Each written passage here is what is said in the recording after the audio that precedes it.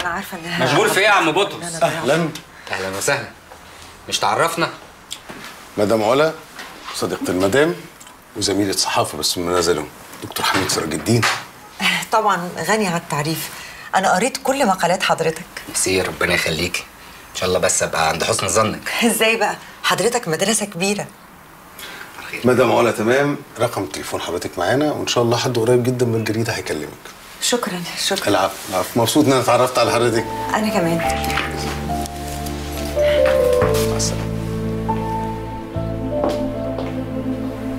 أنا جايب صفاء يا سيدي.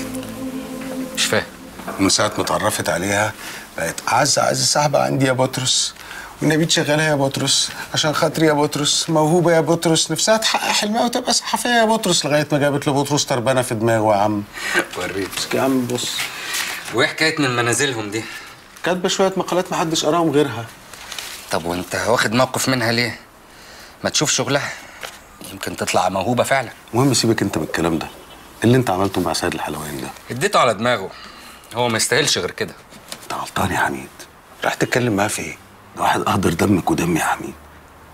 وأنت بقى خايف عليا ولا على نفسك؟ علينا إحنا الاتنين. بطرس.